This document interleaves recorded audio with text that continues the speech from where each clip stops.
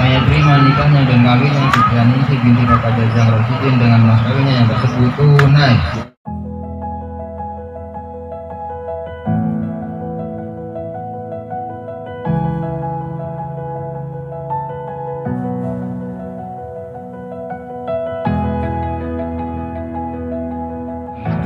yang sakinah, mawadah, warahmah dan juga diberikan keturunan yang soleh dan solehah.